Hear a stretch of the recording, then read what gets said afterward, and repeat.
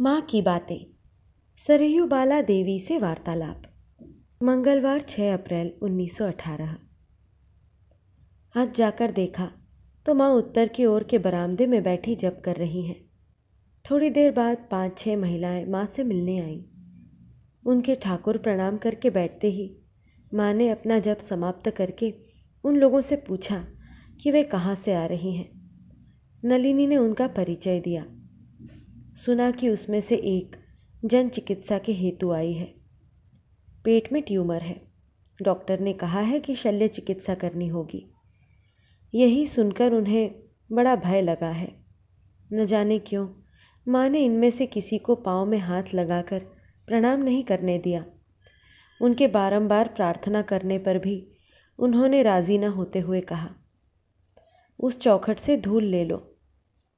अंत में उन लोगों ने बीमार महिला को दिखाकर कहा, आप आशीर्वाद दीजिए कि वहाँ ठीक हो जाए और पुनः आपके दर्शन पा सके माँ आश्वासन देते हुए बोली, ठाकुर को अच्छी तरह प्रणाम करो, वे ही सब हैं बाद में वे थोड़ी अधीरता के साथ बोली तो फिर तुम लोग अब चलो, रात हो गई है उन लोगों के ठाकुर को प्रणाम करके चली जाने पर माँ ने कहा गंगाजल छिड़क कर कमरे में झाड़ू लगा डाल। अब ठाकुर का भोग उठेगा। आदेश का पालन हो जाने पर माँ उठकर नीचे आई और बिस्तर पर लेटने के बाद मेरे हाथ में पंखा देकर बोली, हवा कर तो बेटी, शरीर जल गया। प्रणाम करती हूँ तेरे कलकत्ते को। कोई कहता है, मुझे यहाँ दुख है। कोई कहता है, मुझे वहाँ दुख है। अब और सहन नहीं होता। कोई तो न जाने क्या क्या करके आते हैं। तो किसी के पच्चीस बाल बच्चे हैं। उनमें से दस मर गए इसलिए रो रहे हैं। मनुष्य नहीं, सब पशु हैं पशु। संयम आदि का नाम तक नहीं। इसीलिए ठाकुर कहा करते थे, अरे, एक सेर दूध में चार सेर पानी है। फूकते फूकते मेरी आँखें जल गई। मेरे त्यागी भक्तों, तुम लोग कहाँ हो? आओ तुमसे बातें करके प्राण बचे। ठीक ही कहते थे। ज़ोर से हवा करो बेटी। आज चार बजे से ही लोग आ रहे हैं। मुझसे उनका दुख देखा नहीं जाता।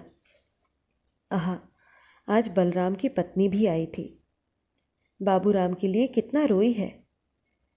बोली, यह क्या मेरा जो सो भाई है? ठीक ही तो है बेटी। देवता भाई था। थोड़ी देर बाद उन्होंने तेल की मालिश कर देने को कहा। मालिश करते करते मैंने कहा, माँ, भक्तों के खाने के लिए मैं दाल पका कर ले आई हूँ। माँ बोली अच्छा किया है। राखाल ने भी कुछ भेजा है। इसके पूर्व राधु के पति ने कुछ विशेष खाने की इच्छा व्यक्त की थी। किसी के वही प्रसंग उठाने पर माँ ने कहा, इस समय कैसे हो सकता है? मेरा बाबूराम चला गया है। सबका मन दुखी है। यह ठाकुर का घर है। इसीलिए कामकाज सब चल रहा है। नहीं तो रोने पीटने की आवाज़ से पूरा मकान भर जाता। क्या कोई उठ पाता? लेकिन खाने की इच्छा प्रकट की है तो देना ही होगा। सो ये लोग यदि पका कर लाए तो हो सकता है। इतना कहकर मेरी ओर देखते ही मैंने कहा, जमाई यदि हम लोगों के हाथ का खाएँ तो अवश्य ला सकूँगी। माँ ने कहा खाएगा क्यों नहीं? खूब खाएगा। पकाने के बाद ब्राह्मण रसोइयों के हाथ भेज देना।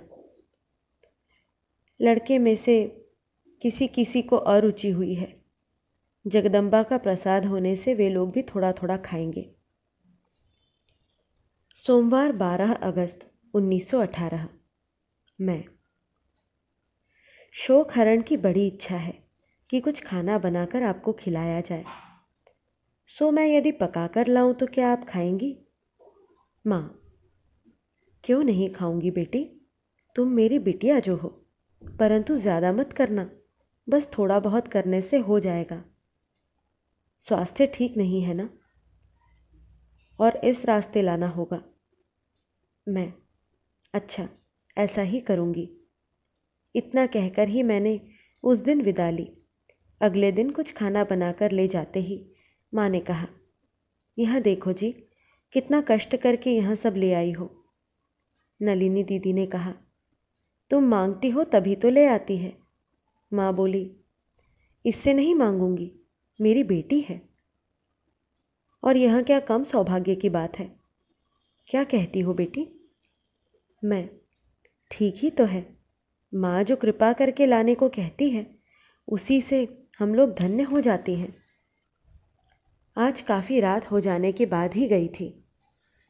भोग के बाद प्रसाद लेकर घर लौटते समय मैंने कहा, कल शायद आना नहीं हो सकेगा, माँ। एक घर में विवाह का निमंत्रण है। माँ अच्छा तो कल न आने से समझूँगी कि विवाह में गई हो। उस दिन का घी ठीक नहीं था। तली हुई चीज़ें उतनी अच्छी नहीं हुई।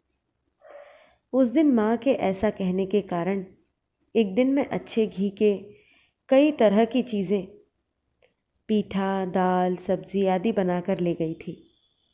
खाकर माँ ने बड़ा आनंद व्यक्त किया।